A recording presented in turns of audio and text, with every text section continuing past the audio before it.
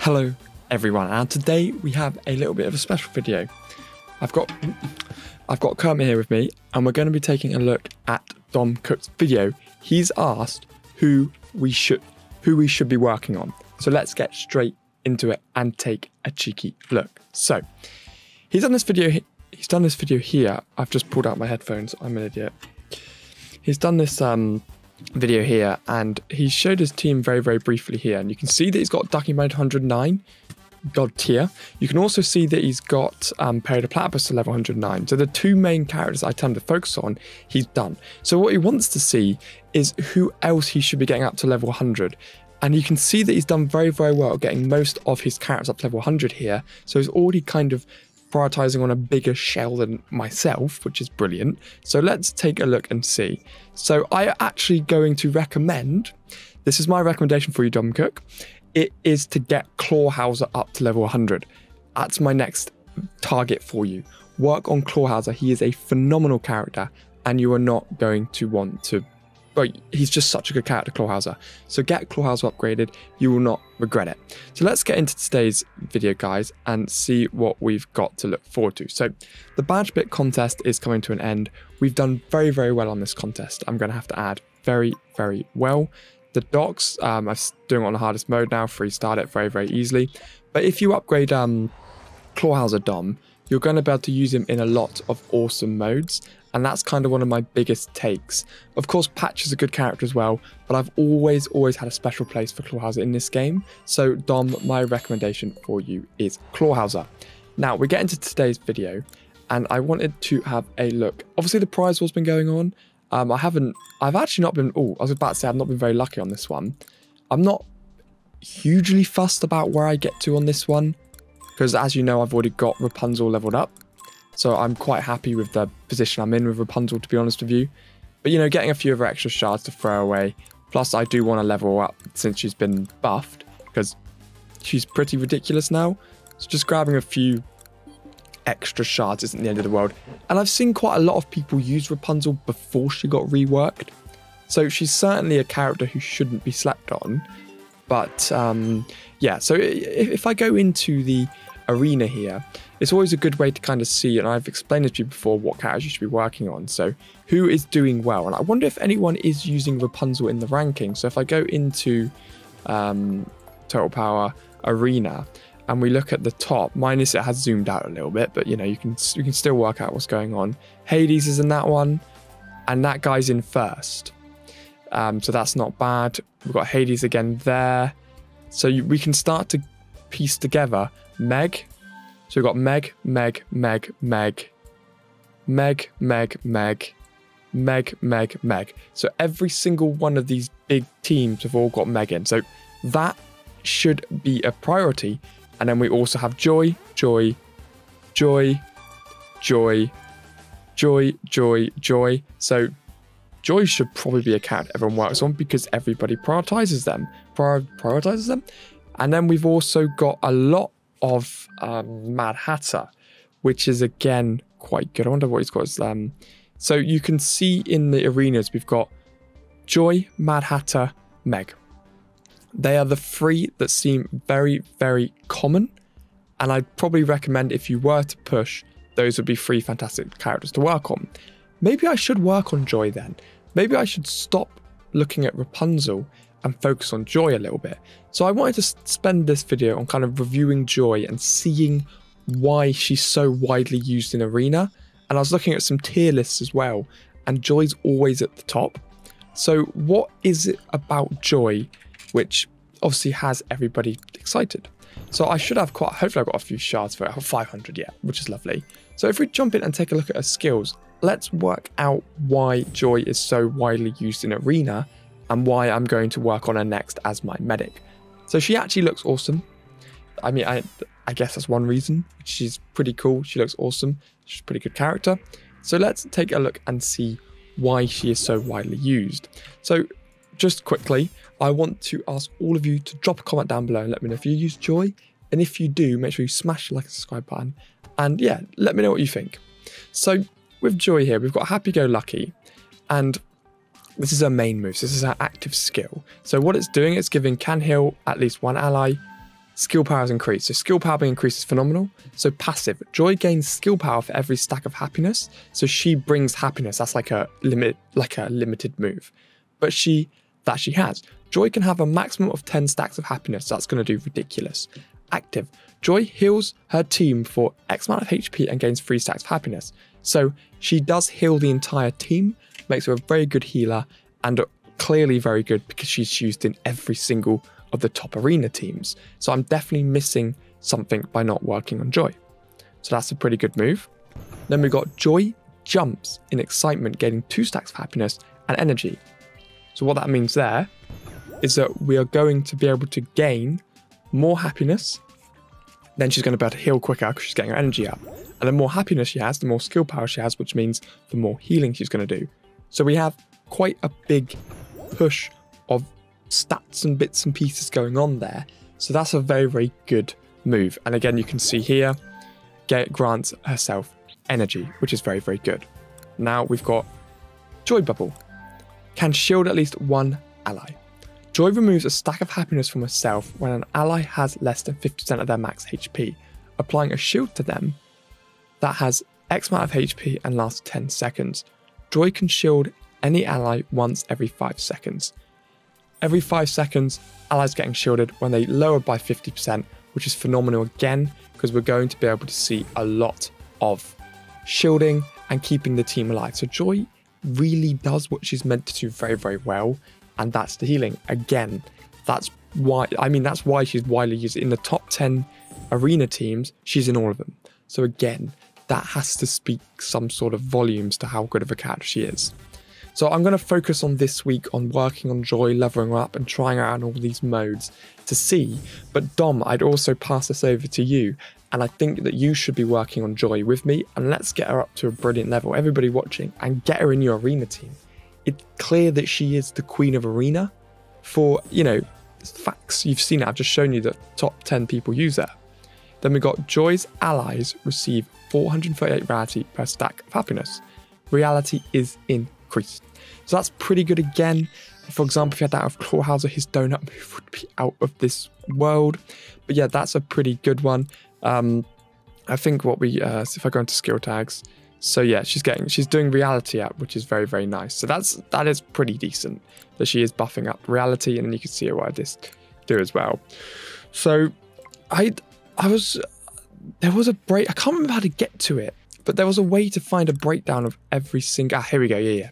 So we've got stats here. So for anyone who doesn't know or isn't familiar with what a stat's doing, you can click detailed stats and you click the eye next to Joy or, or any character. Then you can scroll through and see. So for example, what does reality do? Here we go. Reality works just like armor against fantastic damage. So when she increases their reality, it means their fantastic damage isn't doing as much damage.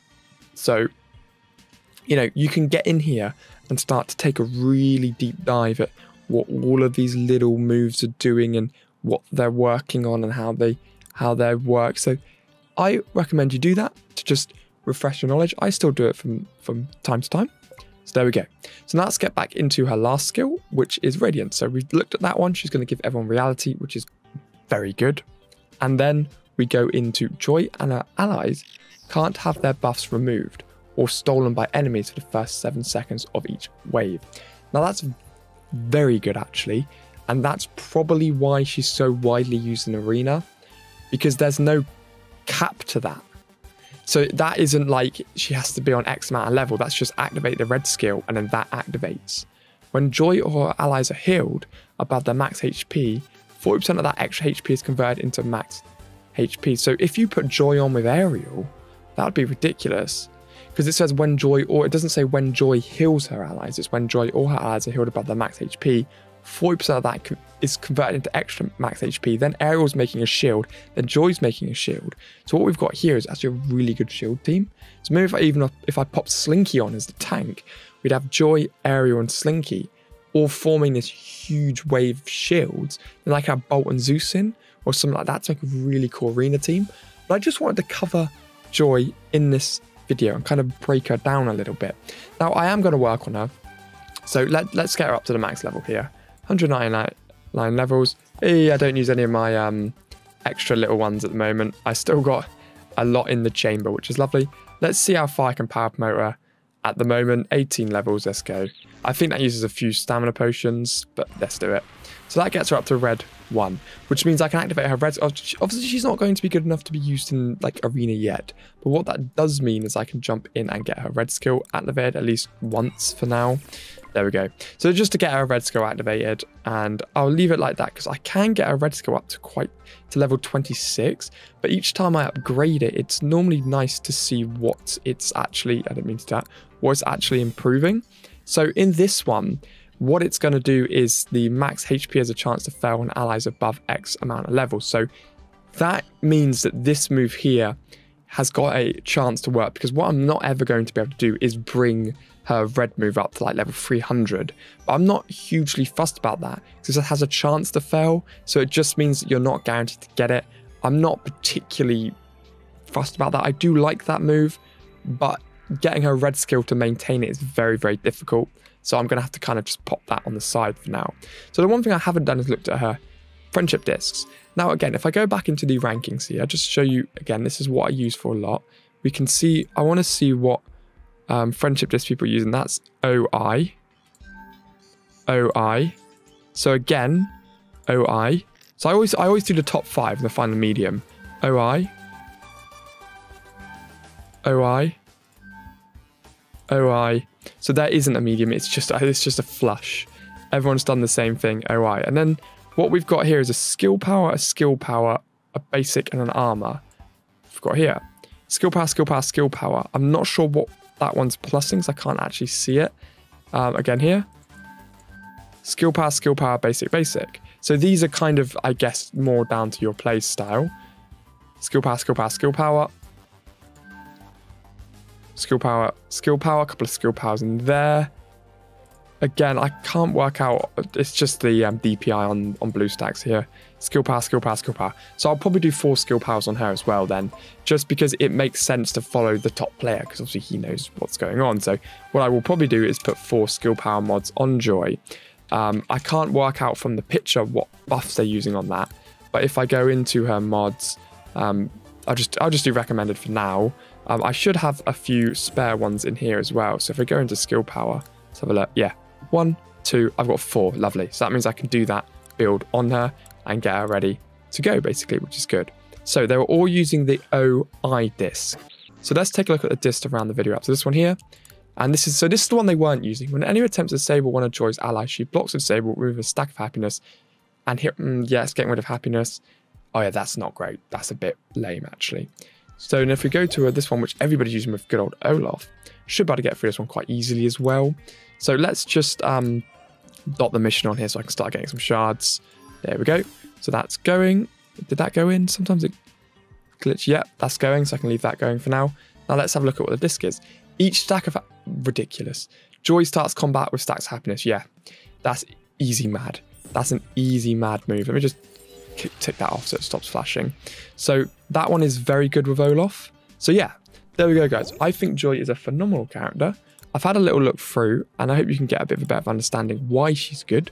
She's a phenomenal shield character, buff character, and heal character, and I think crossed with Ariel, she's going to be an absolute force to be reckoned with.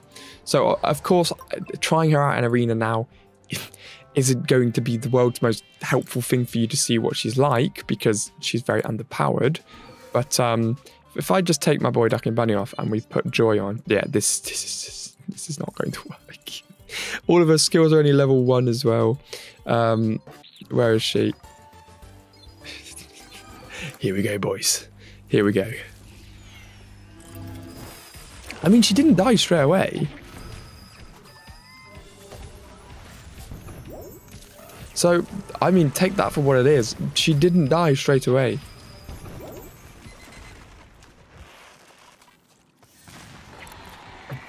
I'm taking that as a win. So there we go. There's a bit of a breakdown there on who I think everybody should be working on. I love Joy, and what I want to do is start to work on getting a ridiculous arena team together. So it's going to be a new series I'm working on. I'm going to do a character a week. So we got Joy this week to look at. So I'm going to work on Joy. And then what I saw in most of those teams as well. So again, if we go back to the rankings, so you can always find out what, what best character, is that every single one of them seem to have Meg in as well. Now, I don't really know the strats with Meg. I understand the concept of her character, but it would be it's curious to see who people choose Meg to link with because on auto, Meg links automatically anyway. But yeah, it, it, it's intriguing to kind of see. But again, we've got Mad Hatter, Mad Hatter, Mad Hatter, Mad Hatter, Mad Hatter, Mad Hatter. So maybe Mad Hatter should be the next one with RA. AI, there's not like a given with Mad Hatter. RA, Randall, Randall, AI. So, and then what's he got on this one? It's probably going to be RA. RA, yeah. So uh, then people are using Mad Hatter as well. So I guess I guess what I could do is start. I did work on Mad Hatter a while ago actually. Is start working on some of Mad Hatter's friendship disc, and the main guy was using RA. Um, who's RA? Let's have a look. So that's going to be another good one to work on. AI. Skill power. Charmed enemies attack and movement speed are increased by 40%. Charmed enemies do not gain energy. So that's quite good actually because um, Mad Hatter's got a triple charm, I think, if I remember correctly. It's one of these. Yeah, Mad Hatter uses especially sweet tea to charm three enemies in a row. That's ridiculous, actually.